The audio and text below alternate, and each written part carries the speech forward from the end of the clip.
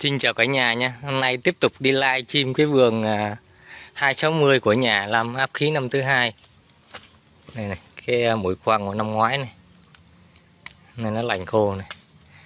Cái à, lượng mũ của lần đóng lắp chóp thứ tư Đây này là tô 1 lít 8 nha cả nhà. Đây xoay một vòng cây. Không bị dột da nha. Mũ là rất là nhiều. Đi à, sang mỡ cây bên này coi này đóng lớp chóp bơm khí à, lượng khí rất là ít nha. Bơm này khoảng 30 cc thôi. Này, tô tô một lít tám. Mũ đang cần chạy nữa nha. Cái này nó cái ống xuống. Mũ này đang cần chạy nữa.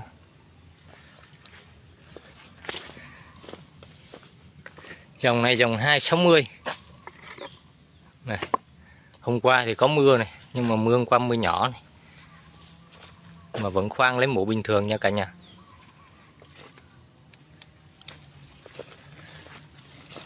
Cây này chắc hơi à, vênh vinh chén xuống.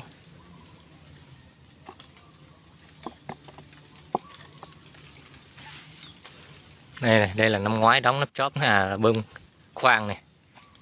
Năm ngoái khoan mà năm nay nó lành rồi này. Đó, nó lành mấy cái lỗ lỗ khoan này đó bóc là bung ra là lớp da nó đẹp lại bình thường đó. Láng o. Năm nay lấy ở dưới này. Lần này mới uh, chào huynh nguyễn nha. Hey, nguyễn uh, có cao su thì uh, nghiên cứu làm áp khí nè. Đi uh, một vòng bên này coi. Này đóng cao quá nên khó quay. Cây này cũng bị chạm đất này. À. lần này là lần đơn bí thí khí thứ tư nha. Chào uh, bác uh, trường này. Ồ, cây to mà đổ này. Nó dớt cái kiềng luôn. Làm không chắc cái kiềng này dớt đổ hết mũ.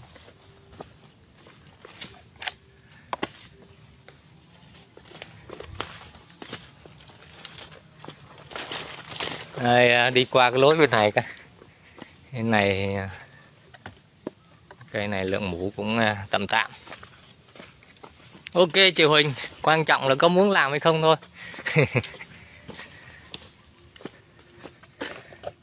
Rồi. Nhưng mà đa số là làm khí mà cái cây to là sản lượng rất là cao nha. Chủ yếu là mấy cây nhỏ nhỏ thì nó ít mũ hơn thôi. Để thôi, cây này nhỏ hơn này. Đấy, cây à, nhỏ nhỏ mà cũng à, hơn nửa chén rồi đó nhà là chơi chén một lít hết. Cây nào nhiều với ờ, chơi uh, chén uh, một lít tám. Đó. Đây này vùng khoan của năm ngoái này. Năm ngoái khoan mấy cái lỗ khoan mà không có phạm gỗ thì nó không có đùn. Còn như cái chỗ nào mà mình khoan chạm gỗ thì nó đùn ra cục. Ừ. Ok chị Huỳnh. Đây, cây này cây nhỏ đây, cây này mới cạo con mặt. Cái cây một mặt thì ờ, mình nhất là nhiều vùng da mà lấy mũ. Mình lấy thoải mái luôn, di chuyển liên tục luôn, nên nó không bị dư khí. Cây không việc gì hết. Thì ờ, độ thì ok chị. Cái giống 260 nếu mà cạo thì chắc độ khoảng tầm 30 bữa nào mà nhiều mũ 29 28 thôi nhưng mà khoan thì bữa nào mà mũ nó tầm 7 80 kg thì nó 33 34 còn không là đều đều 32 này cây này cái nhỏ cái này hoành chắc tầm khoảng năm mấy thôi. Nay đưa đưa gần gốc lấy này. Ờ ok. Vườn nhanh đấy em. Rồi giờ mới đi uh, ra trực về đi à, uh, chút mũ đây. Nhưng mà cũng live chim tí. Cái cây này nó bị khô miền cạo nên phải lấy ở trên. Ui dồi nó chạy xuống đất luôn. Cây này nó khô miền cạo ôi chảy hết. Mình à, đưa tiết lên trên luôn. Dưới này nó khô rồi. Đụng vào nó chảy hết muỗng đất. À, cây này thì hơi ít. Tùy vào cái cây nào mũ chung thì mũ nhiều lắm. Này mấy cây nhỏ nhỏ mũ bình bình. Đây mấy cây to mà mình để cái chén không vững là nó tràn hết à. Đó nè tràn hết đất rất là sót.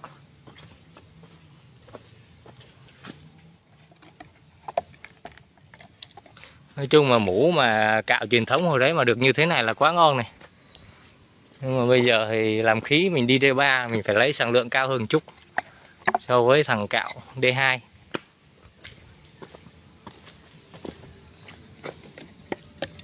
đa số mấy cây nhỏ mà mới cạo một mặt thì chuyển vùng vùng khoang liên tục nên nó không bị dư khí cây, không bị dột này, vùng đóng nắp chóp này. Nó không bị dột vỏ luôn á.